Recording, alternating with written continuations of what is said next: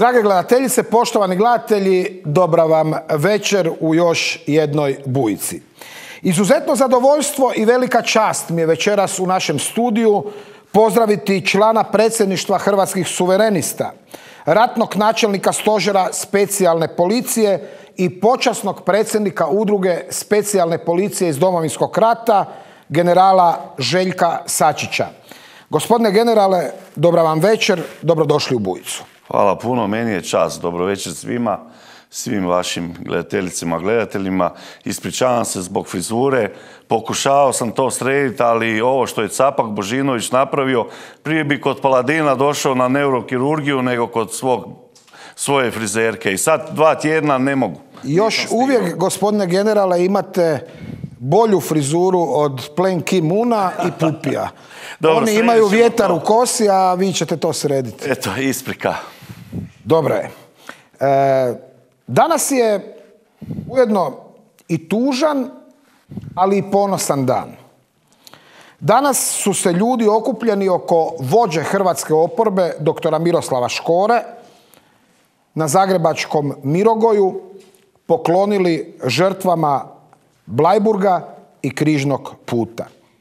Ja ću reći nevinim žrtvama. Jer svatko tko je ubijen bez suda je nevin. Sa doktorom Škorom su zajedno bili generali, ali ne iz Plenkovićevog generalskog zbora. Nisu tamo bile prodane duše. Tamo su bili časni ratnici koji svoju vojsku nisu ostavljali 91. 95. Nisu je ostavljali niti kada su hapsili njihove zapovjednike i Sanaderovi i Račanovi i Ostojini i Vasini. Nisu je ostavili niti sada. Tamo su bili tri generala. General Hrvatskog vijeća obrane i HVA, Željko Glasnović, general HOSA Ante Prkačin i moj večerašnji gost, general specijalne policije, gospodin Željko Sačić. Isto tako bili su tamo i ugledni članovi domovinskog odbora domovinskog pokreta Miroslava Škore. Među njima je također bilo dragovoljaca, ratnika, od Vukovara nadalje. Bilo je tamo i znanstvenika i bivši ministar kulture, svojedobno i zamjenik predsjednika počasnog Blajbuškog voda, dr. Zlatko Hasanbegović, sa njegovim blokovcima. Bili su konzervativci, hrastovci, suverenisti, baš svi. I to je ono što budi nadu hrvatskom narodu i to je ono što demantira laži kosovskih učenika koji misle da su Inter. Možda jesu Inter iz Zaprešića, ali nisu onaj talijanski Inter. U svakom slučaju idemo na uvodni prilog koji je pripremila kolegica Mateja Jozelić, znakovitog naslova. Vratio se Miro s tisuću momaka.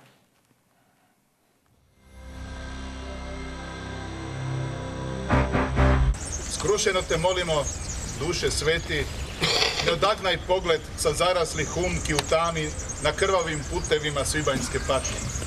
Hrvatskih ljubljenih naših braća i sestara, satranima bez suda i krivnje, nego usliši našu molitvu osnaženo po zagovoru blaženog Alojzije Stepinca, svjedoka i mučenika i daj nama živima dar pamćenja, snagu dostojanstva i priprave, a slomljenim srcima i kostima zaštitu istine i milosrđe spokoja u nadi konačnog uskrsnuća. Neka im duše uživaju u vječnoj svjetlosti uz tvoju pomoć, ti koje s ocem i sinom živiš i kraljuješ jedini Bog u vijeke vjekova. Amen. Molitvoni prigodnim umjetničkim mementom na Zagrebačkom Mirogoju vođa Hrvatske oporbe dr. Miroslav Škoro zajedno sa koalicijskim partnerima, članovima domovinskog pokreta, generalima i ratnim veteranima obilježio je 75. obljetnicu velikog nacionalnog stradanja na Blajburgu i Križnom putu. Našli smo se ovdje danas da komemoriramo i odamo počast svim žrtvama koji su u poraću drugog svjetskog rata izgubili svoje živote jer su bez suda, bez presude jednostavno hladnokrvno ubijeni i zato nikada nitko nije odgovarao. Doktor Škoro posebno je prokomentirao krajnje uvredljive i degutantne izjave bivšeg predsjednika Mesića ali i aktualnog Milanovića, koji su proteklih dana javno negirali genocid na Blajburgu i relativizirali komunističke zločine s križnog puta. Od tih ljudi mene stvarno ništa ne iznenađuje. E, ja sam mislio da je politika jedan ozbiljan posao, tako sam se ponašao od samog početka, tako ću se ponašati i u budućnosti. Međutim, e, bez obzira što sam došao iz industrije zabave, ja veće zabave, više doskočica i više šaljivđija ter ljudi koji se vole zafrkavati nisam sreo nigdje nego u hrvatskoj politici. Ništa bolje od Mesića i Milanovića nisu ni predstavnici vladajuće hrvatsko-srpske trgovačke koalicije koji ili šute ili podilaze svojim nelegitimnim političkim privjescima, a s nazovi oporbenim SDP-om rade igrokaz i predstavu za javnost. Citirao sam kardinala Kuharića e, koji je rekao da vjeruje da vjeruje, da mi kao narod trebamo vjerovati i nama kao narodu nedostaje vjere, nedostaje nam samopouzdanja, političarima nedostaje odgovornosti i dopustite mi da ja vjerujem u to, a što će se dogoditi odlučit će birači. Ja vjerujem i u hrvatski narod koji neće dopustiti da ga se dalje vuče za nos. Doktora Miroslava Škoru danas su na Mirogoju podržali generali Glasnović, Sačić i Prkači. I oni su komentirali skandalozne izjave bivših i aktualnih državnih dužnosnika koji drsko negiraju blajburško stradanje hrvatskog naroda. Da smo ozbiljan narod, onda ne bi bivši i sadašnji dužnosnici o blajburškoj tragediji govorili na razini anegdote, na razini skeča, na razini enigme, parodije, gotovo komedije. Mi smo jednu grešku napravili, da nismo 95. riješili s njima neke stvari. Sad ne bi ovdje polagali samo vijence, nego bio bi i sud, jer za te zločine nikom je osuđen. Prva i najvažnija stvar koja se mora učiniti da bi Hrvatska mogla ići naprijed, da vidimo što se događalo 41. 45. Jugokomunisti su pobili od Austrijske granice do crkve Bele stotine tisuća ljudi i nakon što su pobili te ljude, tamo su čuvali stratišta izbrisali kolektivnu memoriju i probali prikrivati te zločine. To radi danas analni alpinista Mesić, čovjek Lignja Josipović i ovaj slučajni predsjednik Milanović. Po njima ispada da je najvažnija stvar, jesu li ti nesretni Hrvati poubijani automatom ili mitraljezom? Je li padala kiša ili je sjalo sunce dok su, dok su stotine tisuća ljudi ubijene? To je komedija to je ta hrvatska neozbiljnost, ali ja vjerujem da njoj, da njoj dolazi kraj. Na Miragoju ovdje su također preorali domoranska groblja. Ovo je jedina država na svijetu koja nema komisiju za ratne grobove. Njemci imaju tu ratno groblje, a oni su izbrisali nama kolektivnu memoriju. Generala Hosa Antu Prkačina silno je naljutila titoistička kampanja sarajevskih medija i dijela tamošnjeg političkog vrha, koja se već danima vodi protiv vrh bosanskog nadbiskupa Vinka Puljića, zbog toga što će predvoditi ovogodišnju svetu misu zadušnicu za nevine žrtve Blajburga. Ja bih radije prokomentirao jedan uh, vrlo zreo istup Efendije Kavazovića, koji te nesretne jugbosanske jarane, koji od sebe sad stvaraju koji te nesretne jugobosanske jarane uči da je i muslimana jako puno izginulo tamo, da su oni ubijani koji katolici, pa čak i neki pravoslavni ko stoka ubijani. Ali zanimljiva je druga stvar. Kako se partizanski jarani, eh, eh, Komšić, Dodik, Srpska pravoslavna crkva, kako se nađoše, odnosno kako se nisu tako našli 92. 3. 4. godine pa da nas pomire. Ili kako se tako lijepo ne dogovore sada pa da naprave mir u Bosni i Hercegovini. Znači kad treba činiti zlo i kad treba zlo propagirati, ta Titova kopilad koje se mi nećemo osloboditi godinama, oni, ovi živi dodatno ožive, a ovi koji živi nisu niknu iz strave, odnosno iz strave nego iz korova i čine nam zlo. Slično razmišlja i general HVA i HVO-a, saborski zastupnik Željko Glasnović. Tamo su filokomunisti, jer BH za naše kriptokomuniste ovdje, njihove nasljednike, je mini Jugoslavija, mini, mini Juga, oni žale za tim propalnim eksperimentom.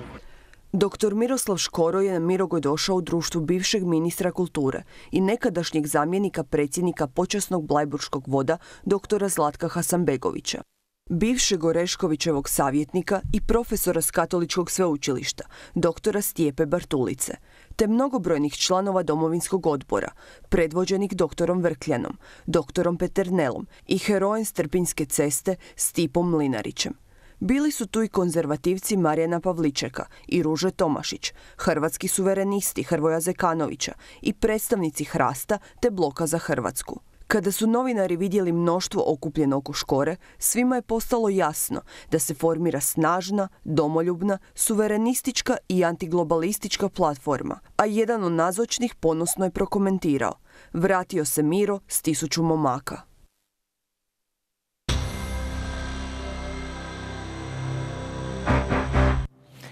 Ovo, dragi gledatelji, niste sigurno vidjeli, barem ne sve, na drugim televizijama. Ovo je bila bit današnjeg okupljanja. Na prvome mjestu molitva i pijetet prema nedužnim žrtvama Blajbruga i Križnog puta. Nakon toga i poruka zajedništva, upravo onakva kakva priliči i ovakvim mjestima i ovakvim događajima i zato odmah za vas, generale Sačiću, pitanje.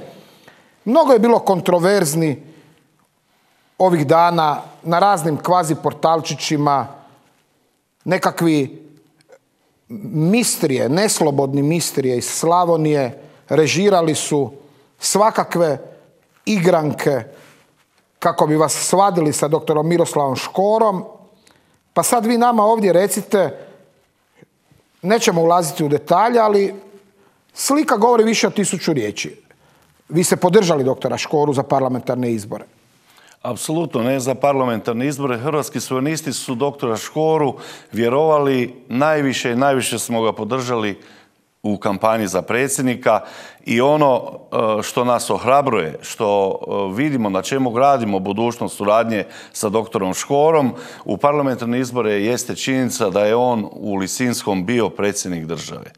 Taj, tu atmosferu, to ozračje, to snagu, tu zajedništvo mi želimo ostvariti u predstojećim parlamentarnim izborima hrvatski suverenisti svi, sve ove snage i mnoge koje niste nabrojali danas, koji još nisu bili. A sa e, gospodinom Školom sam o tome razgovarao neki dan u, kratkom vremenu. Optimista sam, svi mi zajedno, svi domoljubi prije svega, bez obzira na naše provinijencije iz koje dolazimo opcije, sada imamo šansu okupljeni oko Miroslava Škore postići ono što nismo Tuđmanove smrti postigli. Dragi prijatelji, kada se vidjelo da, ovaj, što nije bilo ni sporno, ali kad se vidjelo e, da smo mi definitivno zajedno, hrvatski suverenisti, ovi sve opcije, bar ja kao, ovaj, kao jedan član predsjedništva hrvatskih suverenista, da sam, ovaj, e, morao sam reagirati nakon, nakon dezinformacija, da, da mene neće na listu neko staviti ili da me omalovažava, što nije točno. I kada smo tu porazgovarali i kada je to objavljeno, moram reći da sam da sam dobio jako puno poruka u inbox, na Facebook, na Whatsapp, a jedan od najmilijih, najdražih mi je bio što me u 10 sati navečer u 10.15 nazvao sin predsjednika, vrhovnika našeg hrvatskog sokola Franje Tužmana, gospodin Stjepan Tužman i rekao Željko, Jeste li vi sa doktorom Škorom u koaliciji, hoćete ići zajedno na izbore? Pa da, naravno da ćemo. E, onda znademo za koga ću glasati. I moja obitelj i mi svi hrvatski domoljubi koji smo Tužmanovo dijelo obvezni nastavljati, znademo šta je nama činiti i za koga ćemo glasati. I rekao je s ponosom da najveća vrijednost tog susreta i tog, te sinergije upravo je zajedništvo. Zajedništvo hrvatskih domoljuba jer mi sad imamo povijesnu priliku nakon mnogo vremena, nažalost Milanović se provuko kako se provuko ovdje takozvani predsjednik Hrvatske. Uz pomoć Plenkovića i ekipa. Apsolutno uz pomoć jer da je bilo, da je bilo onako kako je bilo, ne, trebamo žaliti. Danas bi bio predsjednik Republike Hrvatske dr. Miroslav Škoro, stvar bi politička bila drugačija, međutim, tako je kako je. E sad, sljedeći misao i obitelji doktora Franje Tuđmana, mi nemamo alternative. Mi ne možemo, znači, kada se stvara u hrvatskoj javnosti dojam da stranka predsjednika doktora Franje Tuđmana je toliko otišla od svojih izvornih načela, od postave, od 90. godina, da, da to nije od demokršćansko, da to nije u zaštiti suverenih nacionalnih interesa Republike Hrvatske, nego se treba tražiti alternativa u svima nama koji smo ostali izvan, a borili smo se za Republiku Hrvatsku, za slobodu, za nezavisnost, za hrvatski narod, E onda se trebamo, onda mi nemamo, niko od nas nema pravo okrenuti leđa tome. Niko nema pravo tražiti sveca u bilo kome od nas. Jer sveci se, katolička crkva nas uči, ne rađaju, oni se stvaraju. A idealnog nema. Idealan je bio samo jedan. Prije 2000 godine i mi grešni ljudi smo ga ubili i razapeli. Prema tome, ajmo mi, dragi prijatelji, na desnici naći onoga koji može i za njega stat. Jer ljevica, takozvana antihrvatska, koja ne voli, koja slavi Blajburške, koja je ubija, potomci, mentalni, politički, biološki, oni danas slave. A mi smo ti koji plaćemo, njih je možda u Hrvatskoj 10, 12, 13%, nas je 90 ili ne znam koliko posto. Mi smo imali referendum o samostalnosti naše države Hrvatske. 90% on je za Hrvatsku državu, svi su listom bili. Pa ljudi moji, di je ti 90% danas kad je Milanović na Pantovčaku? Mi moramo promijeniti sliku stanja politike. Znači, ljudi su izgubili vjeru koji su istinski domoljubi, koji su bili u stanju žrtva svoje živote za slobodu Hrvatske, oni su se razočarali, okrenuli od HDZ-a i ostali ili abstiniraju doma, ili iz revolta glasaju protiv. Sad nemojte, dragi prijatelji, stvaramo jednu klimu gdje neće biti bačenih glasova, gdje su istinski hrvatski domoljubi, heroji, koji ne idu u politiku da bi, sreći, da bi svoje, e, osigurali svoje budućnosti i svoje fotelje, nego naprosto da ostvarimo ono zašto su naši prijatelji ginuli. Zašto su žrtvu dali. To možemo napraviti u društvu koaliciji gospodina Škore, a čovjek koji pjeva ovakvu pjesmu što ste u uvodu poslali, sude mi, to ne može biti izdajnik domovine. Ne može biti loš čovjek, ne može biti ne patriota, ne domoljub koji ispjeva takvu pjesmu u trenutku kad nam gotovinu proganjaju i tisuće i tisuće nevinih ljudi u Hrvatskoj izvan Hrvatske i koji je nakon toga pretrpio štete od Sanadera, detužvanizatora, Bajića, Kosorice i mnogi drugi. I sad ga takvi pljuju. Sad mu takvi osporavaju domoljublje. Ne, ne, gospodo. Ja se sjećam vas, gospodine generale, iz tih vremena. Bili ste progonjeni ko divlja zvijer. Završili ste i u Remetincu i pozdravljamo i ovim putem sve hrvatske braditelje koji nedužni leže u hrvatskim zatvorima, pa i sve zatvorenike koji su nedužni tamo. Ima i takvih. Ima i takvih. Recite mi, oni su vas radi grubora maltretirali. Ko vas je došao uhapsiti? Je vas došao uhapsiti neki SDP-ovac ili netko drugi? Da, to smo već sto put rekli. Ponovit ćemo. Po nalogu, po nalogu tog zlotvora Mladena Bajića i cijele te klike protuhrvatske, Mesićeve, detužmanizatorske, zlih ljudi, neodgovorni, koji su nam govorili o objektivnoj odgovornosti, koji su nam pričali hrvatskoj javnosti bajke da smo svi zločinci koji smo, svi zapovjednici, bilo ko je učinio zločin, bilo gdje, namjerno, nenamjerno, odmah je zapovjednik kriv. Tako su imali koncepciju da nas potpuno kriminaliziraju i proganjaju, bace izvan medijskog, političkog, bilo kakvog relevantnog prostora da bace u smeće žrtvu za, Republiku, za domovinu Hrvatsku, da prikažu da je ovdje bio građanski rat kojem su proganjani Srbi imali pravo dići pušku. Pa to je Milanović rekao u intervju, jednom u intervjua da je ovdje bio građanski rat zbog toga jer su Srbi izbačeni iz Ustava u sedmom mjestu 90. godine. Odnosno Neki su to zakon. zaboravili. Pa zamislite vi, takav čovjek nam je danas Al- na Pantovčaku, a ljudi Dobro. koji su se žrtvovali za domovinu, oni su bili proganjani. Niste mi rekli ko vas je uhapsio. Pa zna, pa to svi znaju. Brkić je to napravio. Koji Brkić? Miljan Brkić je to napravio. On je bio vaš ovaj, suborac. Da, bio je, ali mi je rekao, eto tako da to mora učiniti, komandante mora vas apsiti. Ovaj, ja sam ostao šokiran, naravno, ali nećemo, to smo sto put. E, ostaje Znate zašto vas jedna to- prošlost, ja sam iz te prošlosti izašao, Bogu hvala, e, moralno čist, pravno čist, I onda vi nakon toga, generale, oprostite, neću vas- ljudski, ali su ostali neki ne, ne- neke posljedice trajne, nepromjenjive, nažalost za koje bi promijenio taj dio života. Ostali su duboke, duboke, duboke, duboke posljedice meni bliskih ljudi, no molimo se Bogu. Vi ste, generale, i nakon toga nastavili borbu. Organizirali ste mnoge prosvjede na kojima su se okupljali deseci tisuća ljudi. Kada je Gotovina bio u Hagdu, kada je jutarnji list JU, kao Jugoslavija, imao spremnu naslovnicu o njegovoj osudi, vi ste radili prosvjede njemu u znak potpore. I sad taj jutarnji list, koji je imao gotovu naslovnicu, dragi gledatelji, da je Gotovina osuđen, a bio je oslobođen, naslovnica za naslovnicom napada Miroslava Škoru. Stvar je potpuno jasna, znači mi, e, ovaj domoljubni pokret, sve je jasno. Imamo znači jednu suverenističku politiku, nacionalno osvještenu, tvrdu, duboko urenjenu u sam korijen ove hrvatske države. Koja je itekako svjesna žrtve i sami smo podnosili žrtve da ju oslobodimo i obranimo.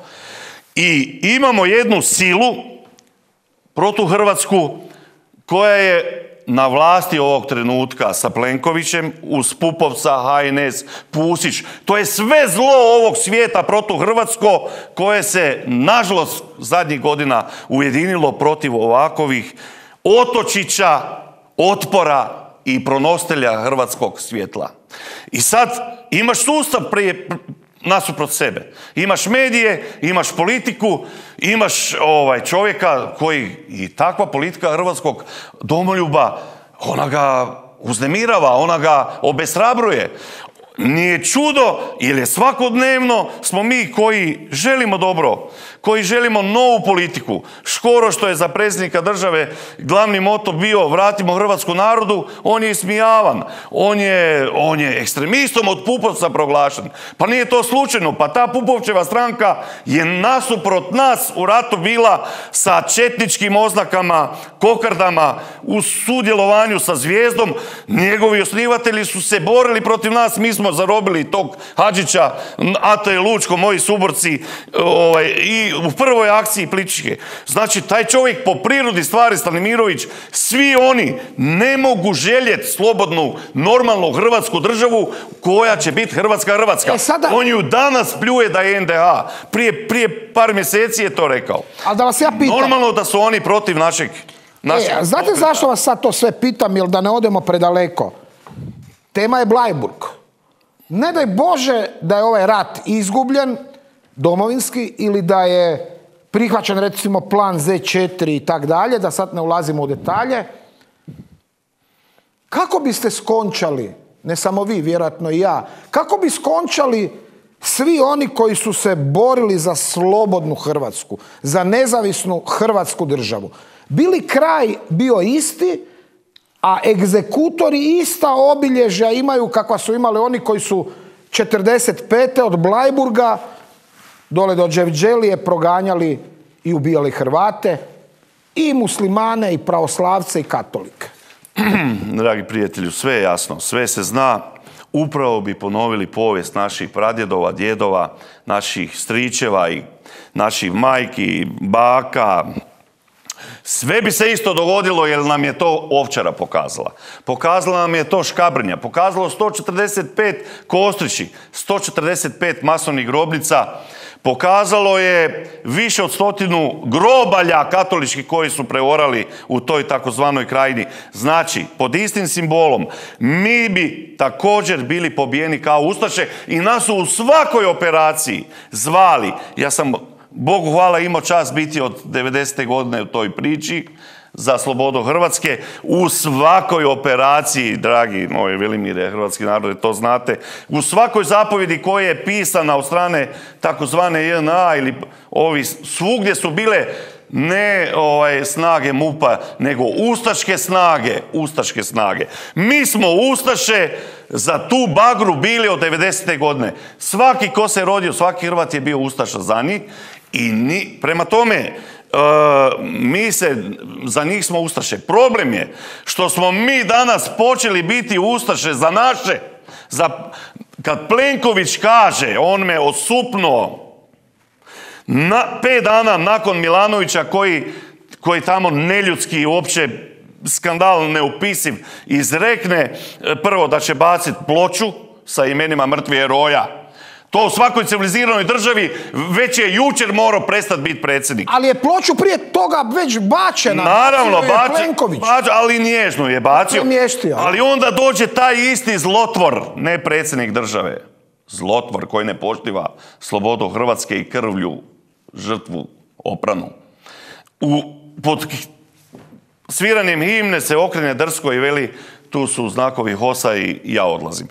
I mi smo ga osudili, naravno, i znamo ko je. Međutim, nekoliko dana nakon toga gospodin Plenković kaže pa ja isto da sam to znao i vidio, ja bi to spriječio. Pa šta bi, gospodine Plenkoviću, što bi ti konkretno spriječio? Koju žrtvu 753 mladića oni su, eto, bili hosovci, nisu ni znali vjerojatno više od polovice njih što su, nego su išli brani domovinu zajedno sa svima nama. I znači on bi spriječio spomen na heroje Domovinskog rata. Pa dok smo živi mi to nećemo dopustiti. Zašto? Zato jer smo prije svega svi domoljubi, bez obzira bili Hosovci, Mupovci, bili bivši milicajci ili JNA, a stvorili, a išli smo u slobo, braniti zajedno sa AV, Zengom i Mupom, svi smo bili Ustaše broj jedan, a sad da nas dijele takozvani HOS su Ustaše, a vi ste eto nešto regularno bile, nećete to, neće to proći, to ide direktno na korist Velikosrbije, Vučića, Dodika, svih oni. Nedopustiva je činjenica da o tako strateškom pitanju naše nacionalne sigurnosti i naše povijesti ustavom zapisane saborskom deklaracijom imaju isto mišljenje Dodik, Vučić, Četnici, Pupovac, Milanović, Plenković. To je nesvatljivo, nedopustivo i zato Škoro, zato domoljubi, zato taj pokret, zato sad ili nikad da mi sad vidimo još dva generala što kažu o tome zašto su uz Miroslava Škoru i ono što je najljepše u cijeloj priči, a to će mi gospodin Sačić kasnije vjerujem i prokomentirati, ovdje je general specijalne policije, kamera, molim pokažite ga, a sada ćete vidjeti i generala Hosa i generala Hrvatske vojske, Hrvatskog vijeća obrane, svi su oni uz Škoru, Doduše nisu članovi plem Kim Unovog generalskog zbora, ali i o tome ćemo nakon što vidite zašto su Prkačin Glasnović u škoru.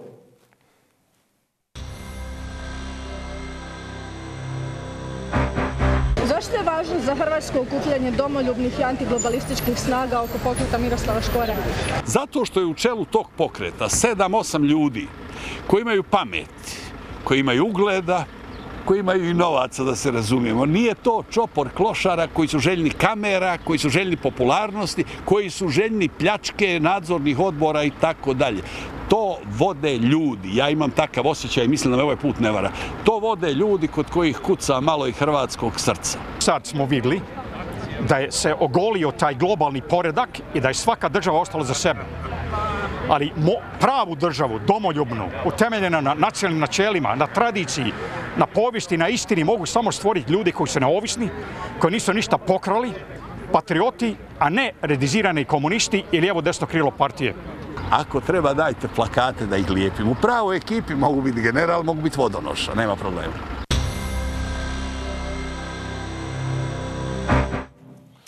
Generala Glasnovića vidjet ćete sljedeći tjedan naravno u Bujici drugdje prostor dobiti siguran sam neće, jer su sve televizije u Hrvatskoj, osim Z1 televizije, pod djelomičnom ili potpunom kontrolom korumpirane nove Fimi medije o kojoj ćemo imati također jednu od emisija tijekom sljedećih dana.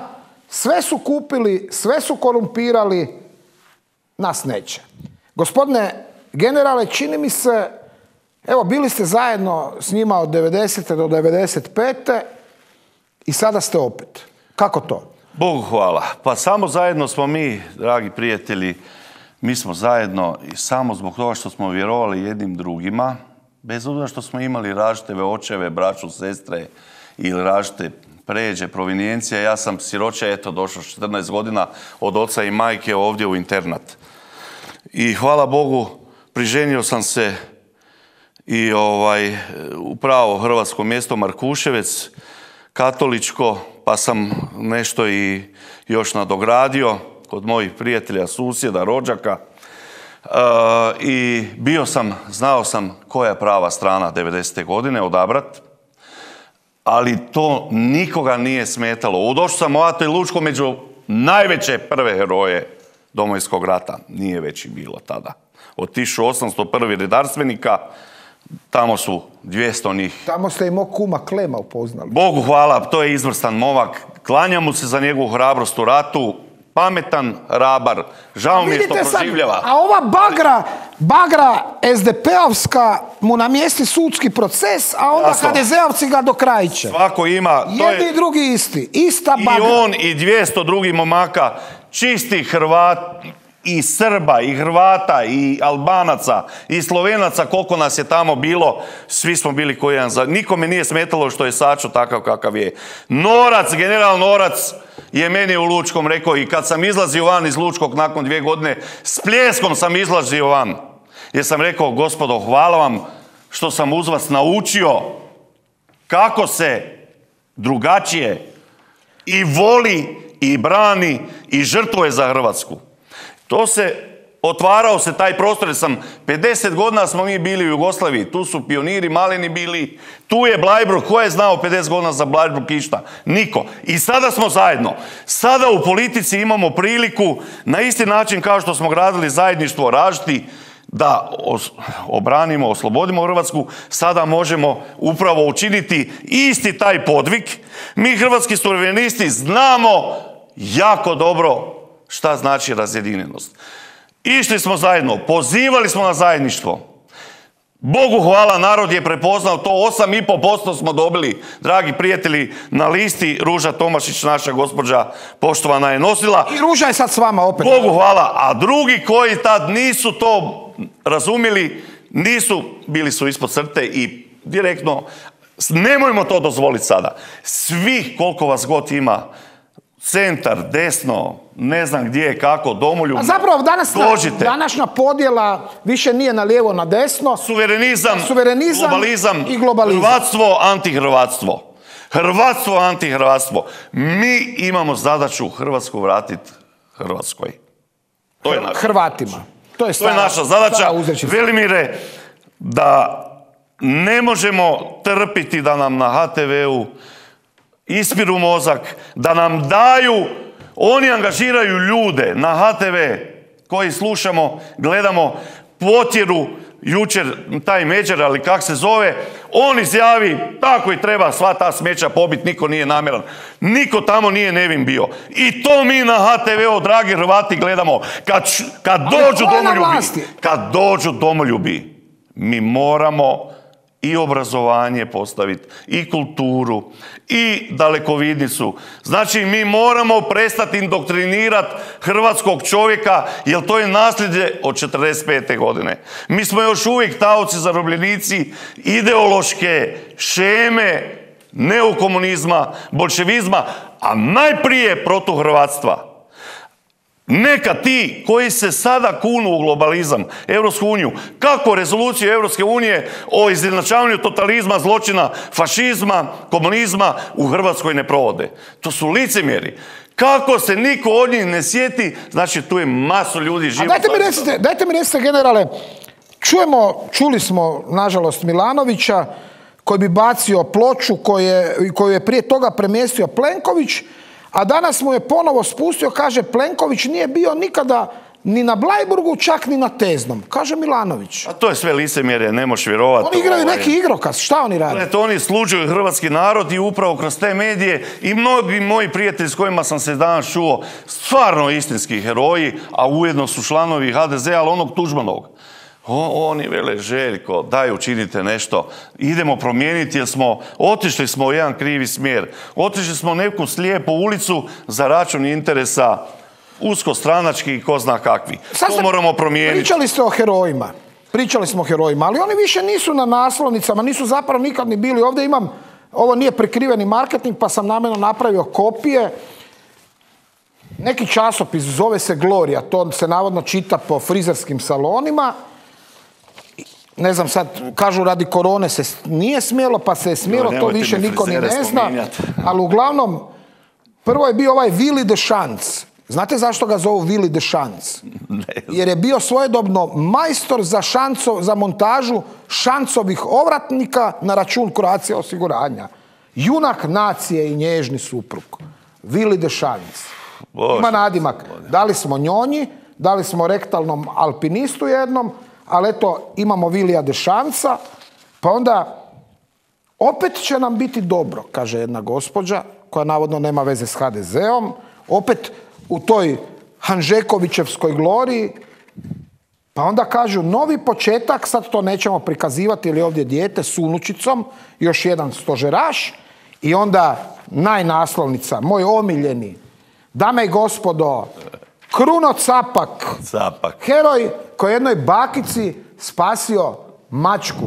Čast bakici Macu, macu. Mica Macu. I čujem da će slogan njegov u kampanji, jer ide u osmu izbornu jedinicu iza onog o, kontroverznog Butkovića koji sa udbašima radi Marine sa krvavim novcem prikupljenim od ubojstava po Njemačkoj.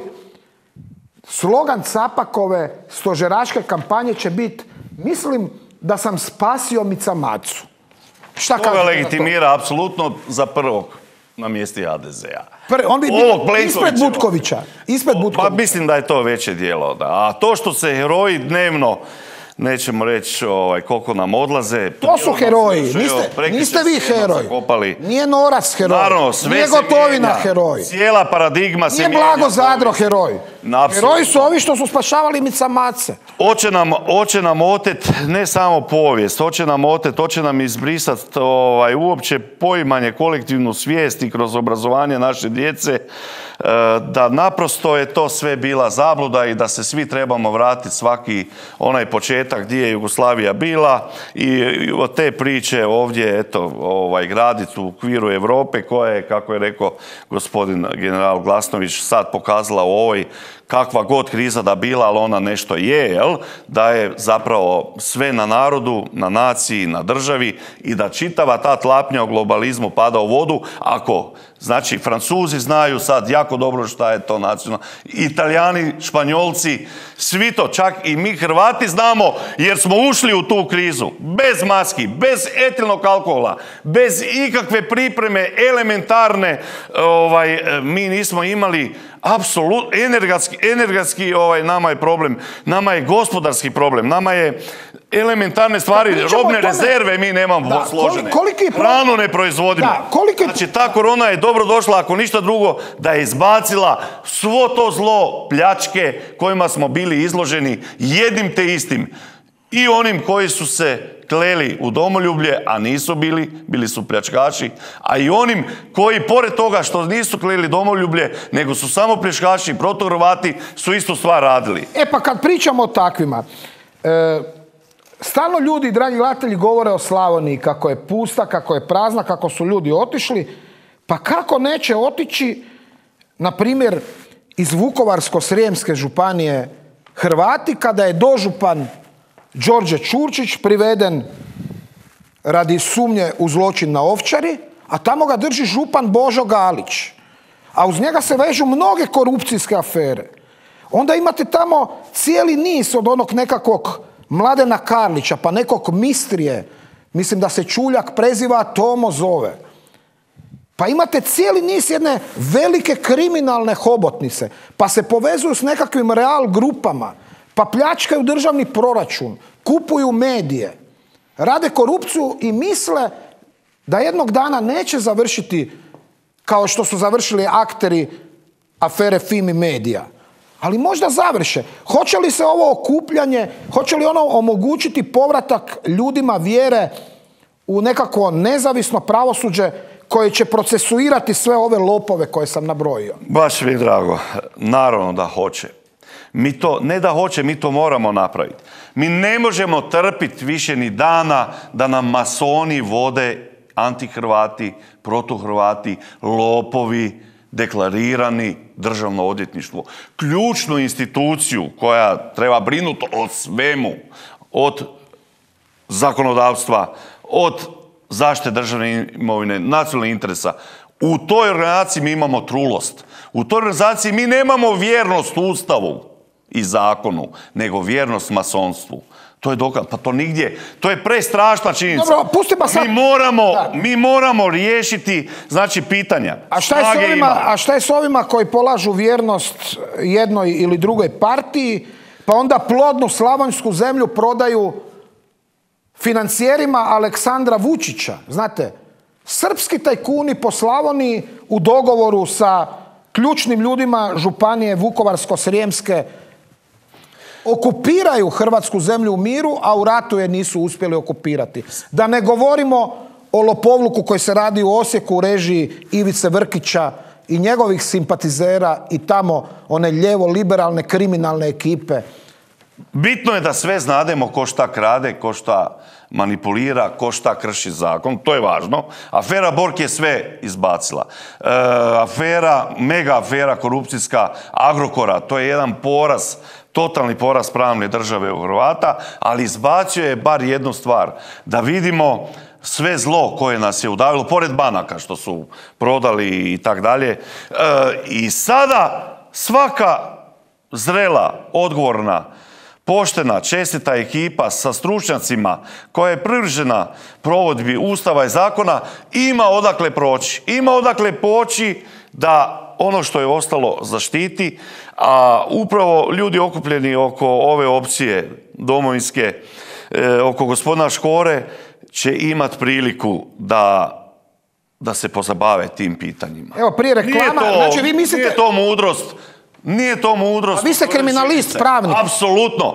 Samo treba ljudima u policiji i državnom odvjetništvu na nižim razinama razvezati ruke. Jer do sad su imali zavezane ruke. Definitivno nije normalno da politika na taj način e, utječe upravo na, na ovaj, e, odabir predmeta koji će se... Pa mi zadnjih godinu dana, dvije godine, nemamo apsolutno nikakve nikakve ovaj, e, procese koji bi ukazali da je neko odgovoran, da je neko u, u, Ko je recimo u odgovoran- kaznenom progonu za Aj, aj, korupciju. ajmo, pa Mi uopće toga nemamo. odgovoran za- Mediji su, Da. držite lopova, svi puni Čuo sam naslova. Prkačina, rekao je, s jedne strane pošteni ljudi, imate, imate i karijere i neki su uspješni poduzetnici, Škoro je to dobro okupio, a s druge strane, dakle, čopor klošara. Čak sijeku, pazite ovo, sijeku tamo u Spači, sijeku šume i prodaju to drvo slavonsko, to naše nacionalno bogatstvo. Rade isto ono što je Arkan radio u Domovinskom ratu, a znate gdje sjede? Na bivšem trgu Hrvatskih velikana u HDZ-u. Mi naprosto, oni su sebi uh, bokove zaštitili, oni naprosto ovaj, ne mogu očito i ne žele pravni sustav koji je plaćen za to da radi, osloboditi da on radi u skladu sa svojim napocima. On ne može, nijedan od naših prvaka u policiji, krim policiji, E, ne treba apsolutno ništa pitat Božinovića. On je vezan isključivo na zakon i zakonu je odgovoran. I Ustav tako propisuje, svako ko poduzima ili ne poduzima mjere da spriječi kršenje zakona, osobno je odgovoran. Prema tome, Nemojte, dragi prijatelji, odgovorni koji ste u sustavu, slušat šefove koji vam kažu stavi to u ladicu, nemoj, znaš, politički nije oportuno. Radite svoj posao. Vezani ste na ustav i zakon i doći će vrijeme da će vam kao i drugim nekakvim civiliziranim državama to biti honorirano, omogućeno i da to neće biti iznimka nego pravilo. A prije, eto, nego odemo na reklame, ja ću se samo nadovezati na gospodina Sačića, koji ima i osim ratničkog i eto, e, bogato policijsko iskustvo, poznaje sustav i pravnike između ostaloga. Dužnost svakog građanina, a posebno ljudi koji rade u državnim institucijama je da kad vide korupciju i kriminal, to prijave. Mi ćemo kao odgovorni ljudi, kao profesionalni novinari i profesionalna redakcija u buduće, dragi gledatelji, sve vas koji nam dostavite relevantne podatke i autentične, vjerodostojne dokumente koji dokazuju korupciju i kriminal vezan uz bilo kojeg ministra u aktualnoj vladi, bilo kojeg župana, bez obzira jesu li iz HDZ-a ili SDP-a, mislim na lokalnu vlast, nacionalna znamo koja je, to ćemo nagrađivati iz posebnog fonda koji su formirali naši iseljenici, koji su i sami opljačkani. Dakle, za svaki dokaz o korupciji i kriminalu koji nam dostavite, bit ćete novčano nagrađeni i mi ćemo to objavljivati tijekom sljedećih bujica. Za početak voljeli bi, ako imate, a mi već imamo nešto, da nas još malo pomognete sa materijalima vezanim uz Slavoniju, jer je tamo situacija ipak najteža, jer su najviše ljudi ti lopovi od tamo protjerali. Idemo sad na reklame.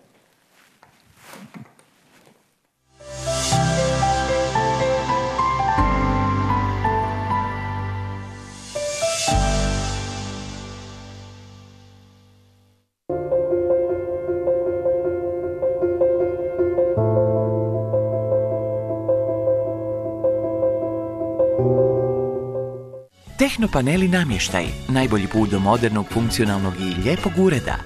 Ured po mjeri i vašoj želji. Stručna usluga dostave i montaže na vašu adresu. Usluga savjetovanja i projektiranja. Uredski namještaj za ozbiljnu tvrtku. Opremamo čitavu Hrvatsku. Posjetite nas na adresi Heinzlova 66 u Zagrebu. Tehnopaneli namještaj. Vaš stalni partner. Suha koža i kosa, bore i celulit nedostatak su kolagena u vašem tijelu. Pomozite mu. Kolagen 19 je jedinstven svjetski proizvod koji sadrži aminokiseline potrebne našem organizmu za njegovu sintezu. Pomladite se i poboljšajte kvalitetu života uz Kolagen 19.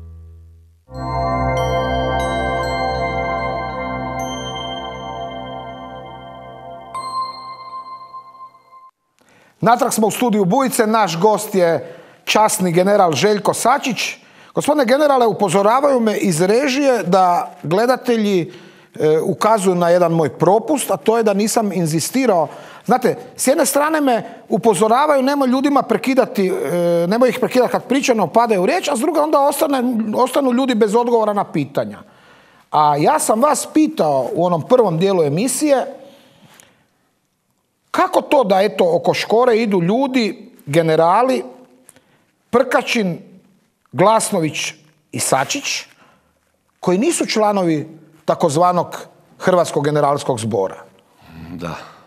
Ka, vi niste članovi generalskog zbora? Ne, nismo, nije mnogo. Pa ja ne znam, pa mislim da se članstvo prepolovilo. Vi ste znali da nedavno je e, jedna, jedna grupa generala sa gospodinom Šiljegom ošla gospodin Hebrang je to inicirao. Ja mislim da je nas više od 26 e, otišlo u zadnjih godinu. Ja sam otišao među prvima kada hrvatski generali nisu htjeli dati očitovanje ili svoju delegaciju potpore Penavi na skup u korist procesuiranja ratnih zločina na teret naših vukovarskih heroja. Pa ko bi dalje u organizaciji bio?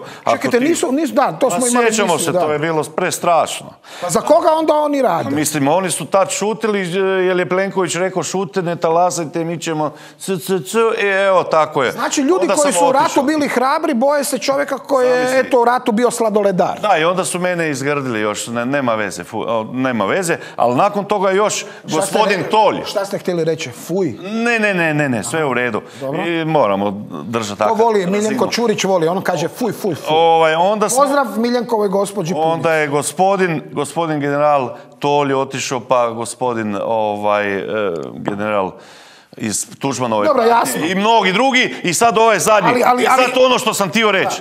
Dragi prijatelji, dragi kolege, generale Miljavac, pa nikako, po, nema cijene koju bi vam dali, platili da kažete da je HOS nije legalna ili da se od- ograđujete od HOS-a. Pa to je, to je teška uvreda. To je teška rana svakom domoljubu Hrvatu, branitelju, koji ste vi, naši ratni časni zapovjednici, zabili svom vojniku kada to kažete. Kada se ograđujete i malo prema HOS-u, vi se ograđujete od same krvi hrvatskog čovjeka koji je nakon devet stoljeća obranio i oslobodio hrvatsku državu. To je nedopustivo. Ja vas molim, generale Miljavac, dajte neopozivu ostavku, ne zato što vas ne volim. Ja cijenim sve doprinose vaše Dobro, ste dali. osim onog u Posavini. Dobro, to Ono je... baš nije druga- bio doprinos. Bio je kao ministar, to sam htio reći, zamjenik ministra, šta li je već bio. Imao je i vas, Pilanu, i Pilanu Došlo je vrijeme radi zdravlja hrvatske nacije, molim vas sazovite hitnu, sa- hitnu izbornu skupštinu, jer nedopustivo je da hrvatski narod bude u mišlju, da hrvatski generali ne cijene, ne vole ili se ograđuju od hrvatskih heroja. To je nedopustivo. Okrenite leđa, hrvatski generali koji ste gore, to morate radi sebe napraviti, okupite nas kao što je crkva jedinstvena, Bogu hvala, kao što su e, određene institucije u Hrvatskoj trebaju biti u temelju e, ovog društva jedinstvene, tako hrvatski generali svi do jedan uvijek moraju biti svoji branitelji. Dobro, ali neki- Nema cijene. Da, to dobro, dobro, ali ne- neki su svoju djecu zaposlili negdje pa to ne mogu. Onda mi kažu branitelji u pripreme misiji da se od današnjeg dana i definitivno generali dijele na generale i generale. Evo vidite dokle smo Ja došli. ću ih zvat generalima. Ako bi bilo do toga da mene Plenković ili neko prisili da ja moram s takvim priopćenjem ići, ja bi radije prije toga, pa mislim prije svega ne bi se to nikad dogodilo. Ali nema šanse da bi ja dalje Mislite ostao da na je Plenković ga prisiljavao na te stvari? Gle, sljedeći logiku, Milanović je to zakuho, Plenković se nakon četiri dana suglasio s Milanovićem i trebalo je pokriće. Ja sam javno se suprotstavio i nas stotine i stotine. Nisam želio kod Milanovića ići na njegov poziv e, da slavim bljesak, pa kako ću slaviti bljesak sa čovjekom koji ne prizna žrtvu naših heroja? Nema šanse. I mnogi časni ljudi nisu, sljedeći moj primjer, također išli. I sad se radi te uzburkanosti javi ko?